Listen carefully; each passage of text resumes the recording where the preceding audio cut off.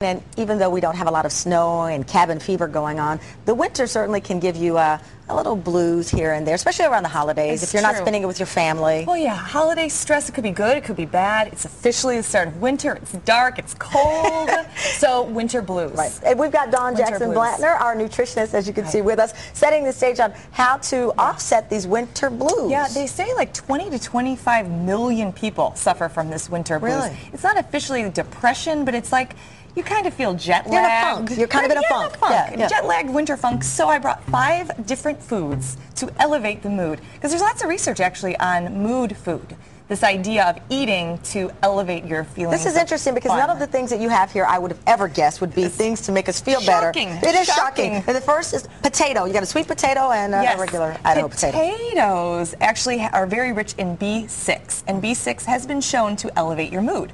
So this is uh, something that a lot of people took out of their diet Right. with the low carb craze, and now put it back in and be happy. And is that why they call potatoes a comfort food? They're because a they make us feel food. better. They're hot. They're good, and they have lots of B6.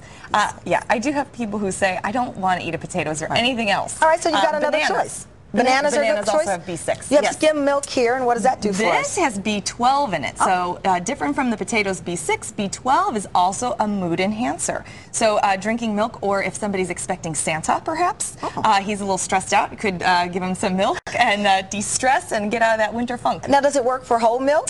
Uh, it could be whole. I prefer as a Prefer dietitian, of okay. course, skim. All right. And then lentil soup. Lentil I soup. Full of folic acid. Folic acid, very good for mood. And if you don't love lentil soup, you could also have a big spinach salad. Uh, spinach also has that folic acid. Now, how soon it. after uh, eating or drinking this do you feel better? Oh, well, I will say probably right immediately after, like 15 minutes or so, it's starting to make Wow. those happy neurotransmitters, those happy chemicals in our brain. How long will it last? that, hopefully, eternally. Uh, I don't but- wanna have to keep eating to feel Right. good. Every day you do have to eat a little bit of these foods Okay. uh, to get that good mood. now, you've got tuna on this, Tuna. or is it, does this apply to any fish or This just is tuna? any fish has selenium in it, and selenium does increase the mood. Uh, another thing too, I was thinking uh, people in parties might be uh, buy a nut bowl. Uh-huh. Uh, Brazil nuts are also very high in selenium, just like tuna. I just bought Uh, some Brazil nuts at Whole Foods. There you go. Eat them, Ah. and you will be joyful, gleeful, cheerful. And the last thing on our list here, a bell pepper. Bell pepper. Does it have to be red or can it be any Vitamin? C uh, in the red pepper. Uh, really impressive. It's double an orange vitamin C. So uh, red pepper or even broccoli is very high in vitamin C. Uh, very happy, happy, joy, joy. You also recommend taking a 20-minute walk outside. That'll help you feel a little bit better too. the sun will help you uh, make vitamin D, and that's good for the mood.